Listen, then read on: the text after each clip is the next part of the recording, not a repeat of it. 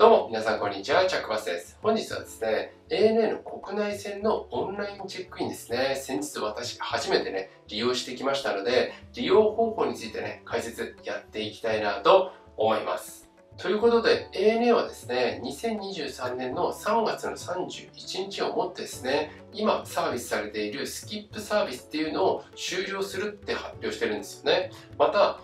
自動チェックイン機っていろんな空港にあると思うんですけども、こちらもね、2023年の4月以降ね、こちら順次終了ということで、今後はですね、ANA の国内線はオンラインチェックインと友人ブースのみっていった形になるんですよね。で、このオンラインチェックインがですね、2022年の4月からね、サービス始まりまして、ちょっとその前からね、あの、試験運用みたいなのはされてたんですけども、先日ね、私利用してきましたので、まあ、どういった感じでね、利用するのかっていうのはね、気になる方いらっしゃるかななんていうふうに思いますので、気になる方はですね、ぜひね、最後までご覧いただければなと思います。ということで、ANA のね、国内線オンラインチェックインということで、公式サイトのやつをちょっとこれにね、出しておきますけれども、航空券を購入していただいて、座席を指定していただいてですね、そこから ANA のアプリでチェックインをしていただいて、で、そこで搭乗券を発見していただいて、そのまま保安検査場を進んで飛行機に搭乗するっていう流れになるんですよね。で、今のスキップサービスっていうのはありますよね。まあ、これもね、似たようなサービスなんですけども、このスキップサービスっていうのはですね、ANA のクレジットカードであったりね、IC カードとかに、まあ、この ANA の搭乗券を紐付けることによって、ANA のカードをですね、えー、保安検査場とかにかざして、まあ、利用することができるっていうサービスだったんですけども、まあ、今後はですね、このえスキップサービスっていうのは全部廃止になって、まあ、モバイルデバイスのですね、搭乗券に切り替わっていくっていった形になってるんですよね。で、一応ね、このオンラインチェックイン自体はね、ANA のね、アプリでやるわけなんですけども、紙の搭乗券がもらえないかっていうと、別に言えばね、もらうことはできるんですけども、まあ、基本的にはですね、デジタルデバイスのチケットになっていくっていう形になるんですよね。で、実際のね、利用方法なんですけども、まずね、購入していただきますよね。で、購入してで座席を指定していただきますよね。で、搭乗日の24時間前からですね、このオンラインチェックインっていうのがね、できるようになりまして、で、今ね、ちょっといつもと雰囲気違うと思うんですけども、明日ね、自宅の方に帰りますんで、明日ね、ANA の飛行機のね、チケットを私持っておりますので、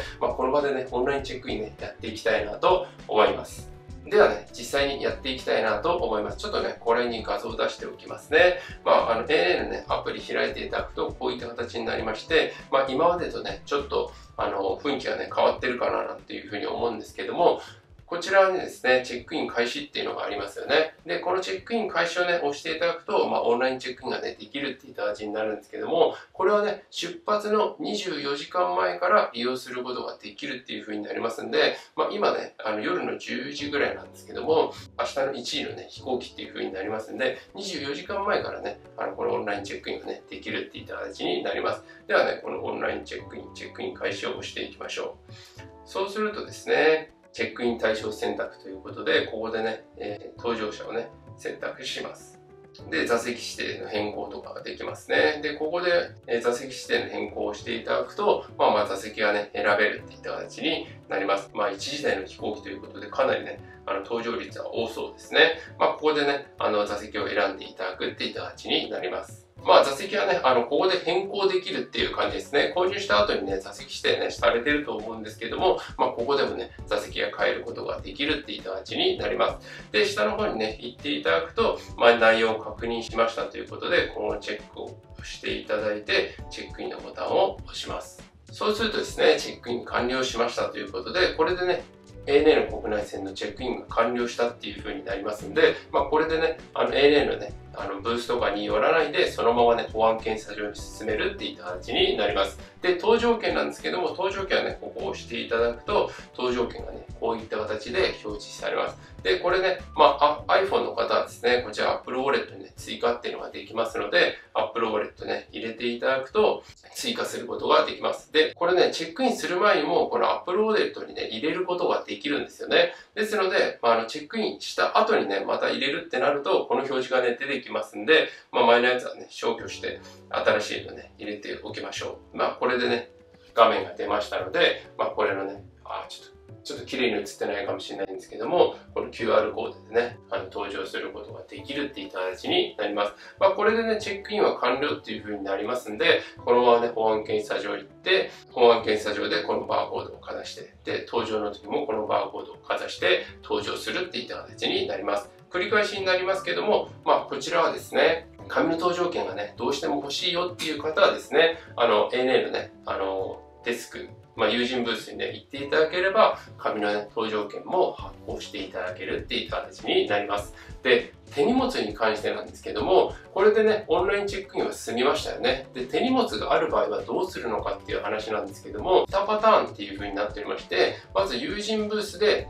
預ける。まあこれは今までと一緒ですね。で、もう一つですね、自動預けってありますよね。まあ羽田空港にはあるんですけども、ちょっと他の空港にね、どこにあるかちょっと私存じてないんですけども、羽田空港にありますよね。あの自動で手荷物を預けるやつね。まああれにね、そのままこの搭乗機をね、かざしていただいて、手続きしていただければ、ここでね、手荷物が預けられるっていった形になります。まあこういった形になりますので、今日ね、羽田から沖縄までね、飛行機で来て実際に利用させていただいたんですけども、本当にこのオンラインチェックインっていうのを済ませて、搭乗券をここに持っていると、本当にね、ANA の係員の方と、もう一切ね、対応していただく必要がね、ないっていった形になりますんで、これはね、ANA としてはかなり普及させたいみたいなんですけども、まあこれはね、本当に人件費の削減にね、かなりつながるかななんていうふうに思いますので、まあこうしたいね、部分はね、わかるかなっていうところなんですけども、まあ、私世代のね、あのスマートフォンを普通に使える方であればですね、特段ね、あの問題はないですし、まあ、スキップサービスね、今まで使われてた方は、ちょっとね、ANA のクレジットカードとかで利用できなくなったのは、正直残念な部分であるんですけども、まあ、どちらにしてもね、スマートフォンは持ってると思いますので、まあ、そこまでね、難しくはないのかななんていうふうに思うんですけども、まあ、一つだけ懸念点としては、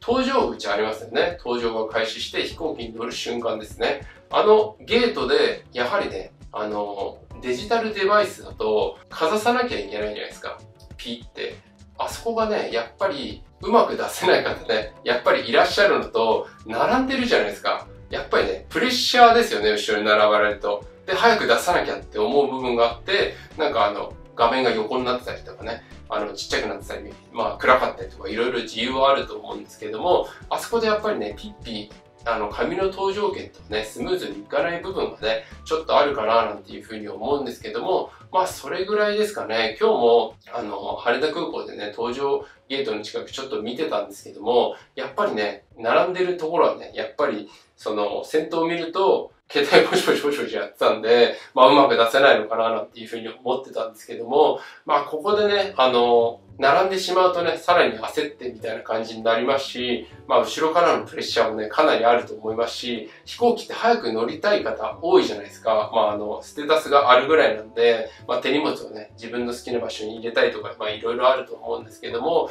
まあここはね、ちょっとね、搭乗口でね、混雑するっていうのはですね、ちょっと懸念点ですよね。まあ今まで紙の搭乗券であれば、まあそこまでね、あの、読み込みが悪いっていう、まあちょっとありますけども、そんなにひどくはね、ならないですし、まあそういったことはね、あるかななんていうふうに思うんですけども、まあ今後はね、このスキップサービスをね、利用することができなくなりますので、まああの、今後はね、モバイルデバイスで利用していただくっていった形になります。ということで今回ですね、ANA 国内線のオンラインチェックインですね、実際に利用してみましたので解説させていただいたわけなんですけども、まあ、利用した感じとしてはですね、非常にスムーズに利用できるので、いいのではないのかななんていうふうに思うんですけども、今までね、スキップサービスを利用してた方はですね、ちょっと一手間増えますんで、まあ、ここはね、ちょっと残念な部分ではありますよね。本当にスキップサービス利用している方は、座席とか選んでね、そのままカードでタッチして登場みたいな感じでね、利用できたんで、間違いなくそっちの方がね、楽だったと思うんですけども、まあこれからはですね、ちょっとね、